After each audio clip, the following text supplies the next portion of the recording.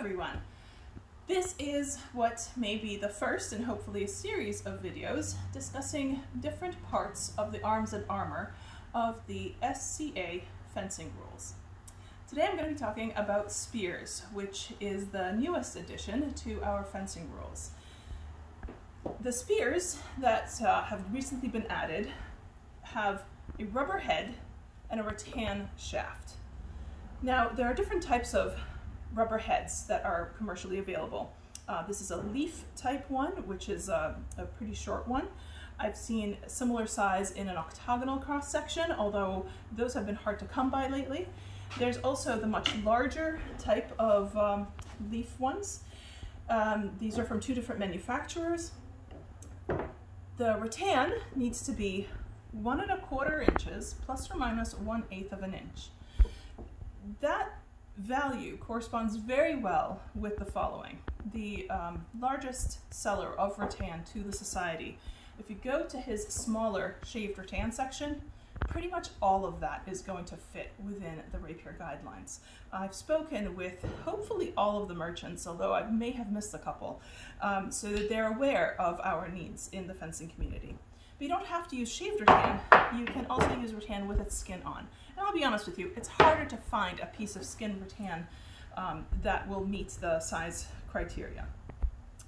The maximum size of a spear is nine feet from butt to the tip of the rubber. Here I've got two that are on uh, regular skinned rattan with the larger heads, and two, these are seven footers that are made on um, shaved rattan. And in the basic construction of these uh, spears, the head, the, sorry, the end of the spear that's going to go in the head needs to fit fairly well, and it needs to go in two inches into the spearhead. In fact, this one was one of the first ones that I made back when we were considering even running the experiment. And I just took it off um, in order to make sure that it still meets all of the requirements. And you can see by the color here that it actually doesn't. The original spearhead only went onto it by about an inch and a half. So this is perfect. I'm going to reshape this to meet the rules and I'll show you how to do that. Um, the end needs to be flat or perhaps rounded. It certainly cannot come to a point.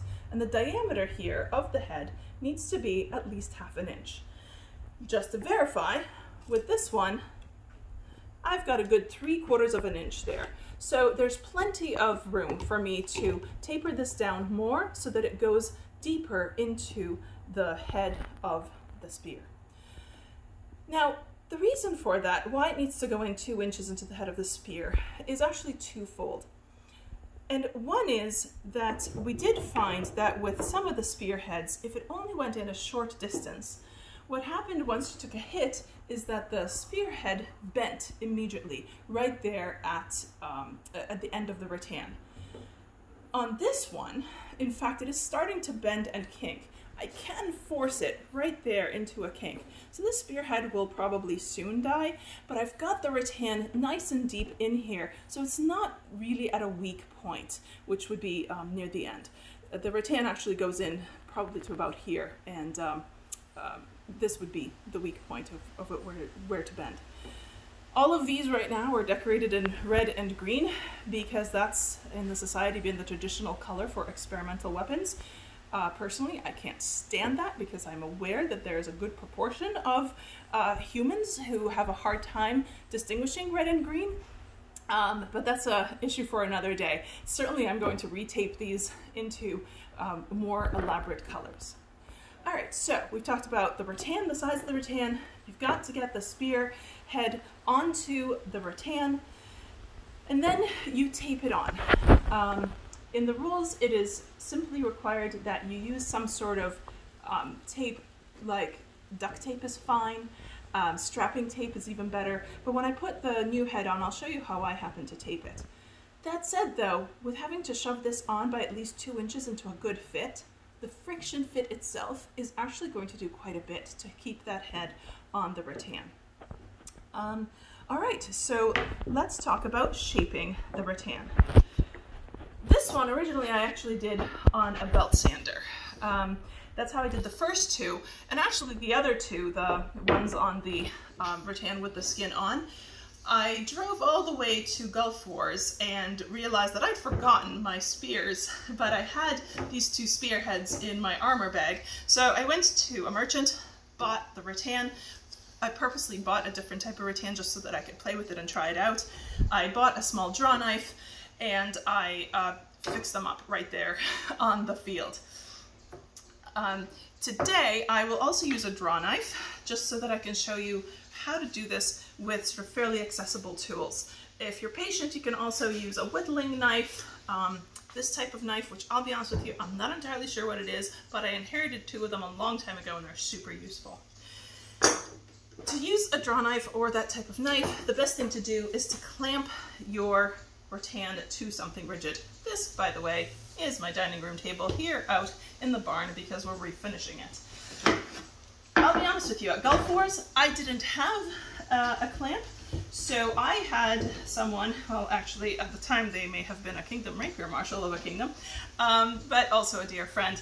Um, they sat on the end for me to provide the friction that I needed in order to shape the head. So now that I've got that nice and secure, um, sure it's still a little wobbly, but it's not going to pull out and it's not going to be a danger to me. Use the draw knife carefully. Simply dig in and pull. It doesn't actually take very long. Um, I probably did each of those two in about 20 minutes. Trick here is sharp draw knife. All right, and through the magic of camera technology, all that is done. And now I will check that this thing goes on at least two inches. So shove it on, it's a good fit. Got it to there.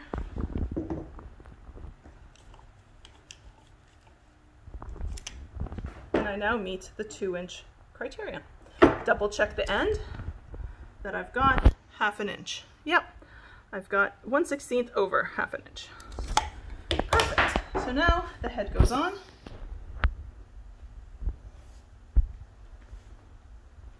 And to tape it. All right.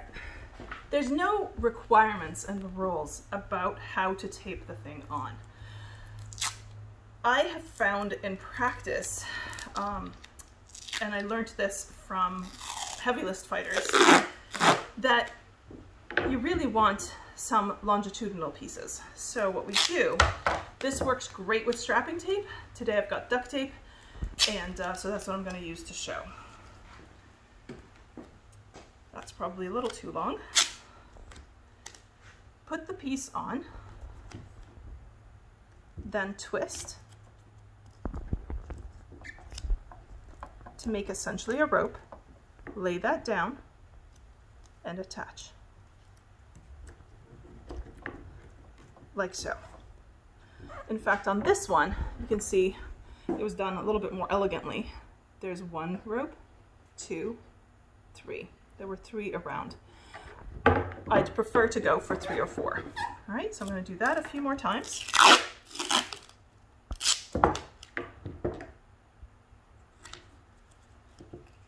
Twist. Lay it down stick the tab on. I'm purposely starting with the spear tip end rather than the shaft end because the second end tends not to be as smooth. And this part is really largely protected by the spearhead itself. So it's kind of more okay if it's not quite so smooth on that end. So here we go, lay it down, sorry, um, tape it on, twist,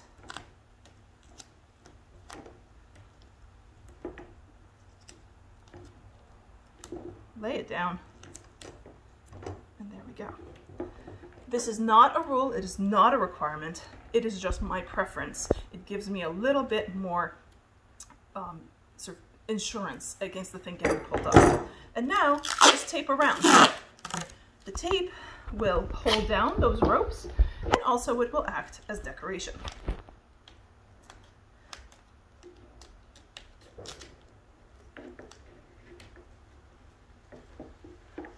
There we go.